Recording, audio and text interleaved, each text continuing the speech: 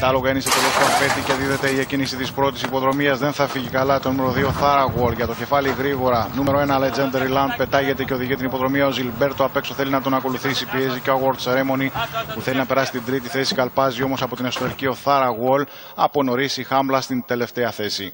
Η διάταξη των αλόγων ενώ πλησιάζουμε, είμαστε περίπου στα 900 μέτρα. Οδηγεί την υποδρομία ο Legendary Land εξωτερικά του. Δεύτερη ρόδα καλπάζει σταθερά ο Ζιλμπέρτο.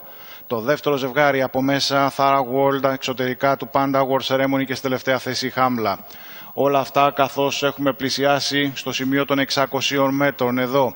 Πάντα οδηγεί την υποδρομή ο Legendary Land από την εξωτερική. Ο Ζιλμπέρτο θέλει να τον πιέσει. Ο πρώτος ασφαλώς με φυσική ταχύτητα πήγε πιο εύκολα. Ο Ζιλμπέρτο υπό συνεχή πίεση. Θάραγουολ θέλει να έρθει από την εσωτερική. Χάνει έδαφος ο Agor Ceremony.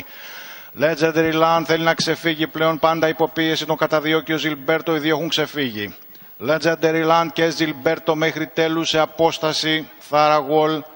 Award Ceremony ακόμα πιο πίσω. Legendary Land μέχρι τέλος ξεκαθαρίζει τα πράγματα. Ζιλμπέρτο στην δεύτερη θέση.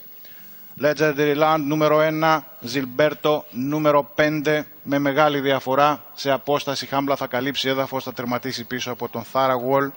Στην τελευταία θέση ο Award Ceremony.